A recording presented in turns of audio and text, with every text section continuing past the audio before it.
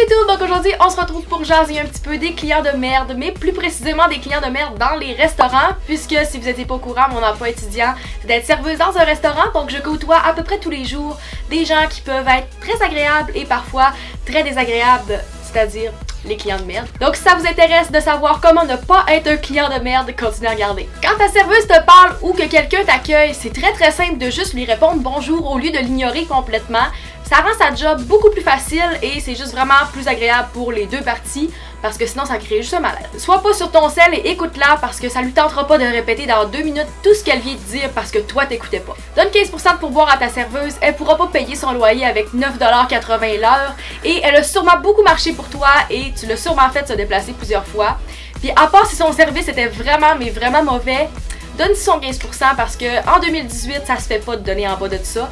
Et si son service était vraiment mauvais, tu peux ne pas lui donner 15%, donne un petit peu moins, mais donne pas 50 sous en lui disant de se gâter parce qu'elle payera jamais son loyer et sa bouffe avec ça. Dis merci, ça va lui faire très plaisir, elle va sûrement te donner un meilleur service et si tu lui fais un sourire en plus, c'est encore mieux. Quand il y a un autre ou une hôtesse, va pas te placer toute seule, elle va t'assigner une place elle-même et va encore moins t'asseoir à une place qui est sale parce que ça rend sa job encore plus difficile puis la personne est payée pour ça. Ça va lui faire plaisir de nettoyer ta table et de venir te placer après. Fais pas des jokes de cul à ta serveuse, ça va rendre tout le monde mal à l'aise. Ceux-là qui sont avec toi, la serveuse, puis il y a juste toi qui va trouver ça drôle. Traite tout le monde comme ton égal, c'est pas parce que quelqu'un travaille dans un restaurant qui est moins important que toi et qui mérite pas ton respect.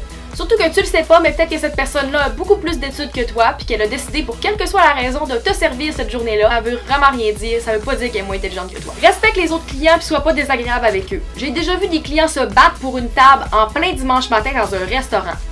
Est-ce que ta vie tient vraiment à ça? Calme-toi, on va venir te donner une table. Ça te donne rien de te battre avec les autres puis de dire que c'est toi qui es arrivé en premier. Si ta serveuse est en train de s'occuper d'un autre client, ça donne vraiment rien de lui crier après pour qu'elle vienne te voir. Elle viendra pas plus vite, ça lui tentera pas de te servir et en plus, c'est vraiment pas respectueux. Si tu claques des doigts encore là ta serveuse avec des noms, ça lui tentera vraiment pas de te servir puis t'as juste l'air d'un gros pas de classe.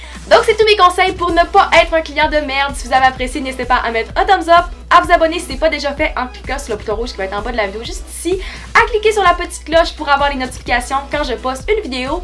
En ce moment, c'est tous les mercredis et samedis. N'hésitez pas à me laisser dans les commentaires quel est votre emploi. Je suis vraiment curieuse de savoir dans quoi vous travaillez. Ça me fait très plaisir de vous lire. Et c'est tout, j'espère vous revoir dans ma prochaine vidéo. Bye!